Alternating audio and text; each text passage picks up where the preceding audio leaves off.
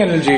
अनिल जी आज जो थीम रखा है वो है टर्न अराउंड स्टोरीज जो है जो वहाँ पे जो एक बॉटम अप जिसे कहते हैं एक, कॉन्सेप्ट होता है इतने अच्छे मार्केट में आपको वो स्टॉक्स जहाँ पे आपको लग रहा है कि अब एक एक अनएक्सप्लोर्ड सेगमेंट या स्टॉक उसमें सबसे पहले जो स्टॉक ले रहे हैं वो है ऑन मोबाइल अब अनिल जी, ये कंपनी एक तरीके से अपने सेगमेंट में दिग्गज रही है, जो कंटेंट देती थी टेलीकॉम प्लेयर्स को और काफ़ी सारे और सेगमेंट्स है जो बैक एंड प्रोवाइड करती है टेलीकॉम प्लेयर्स और और बाकी और फैक्टर्स को। और एक तरीके से ग्लोबल कंपनी है।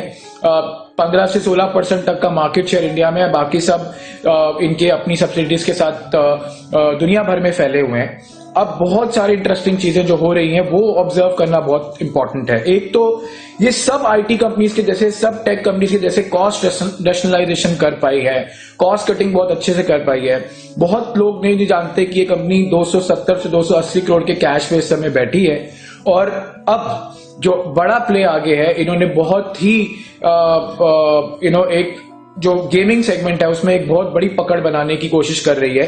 अभी एक टेस्टिंग जैसे कहते हैं एक स्टेज पे आ, आ, ये ये पूरा बिज़नेस है इस समय और और आगे जाके इंडिया में और ग्लोबली ये कंपनी गेमिंग में एक बहुत बड़ी आ, पकड़ बनाने की कोशिश कर रही है।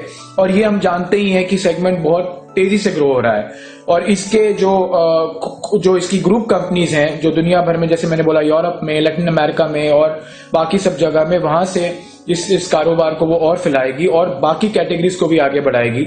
तो ऑन मोबाइल अनिल जी, एक लंबी अवधि का नज़रिया, एक बॉटम अप प्ले साल से दो साल भर का नज़रिया भी रखे अगर दो साल तक का नज़रिया रखते हैं तो मुझे लगता है यहाँ से स्टॉक डबल भी हो सकता है 200 से सवा दो तक के स्तर साल से दो साल के बीच में मुझे आते हुए दिखते हैं।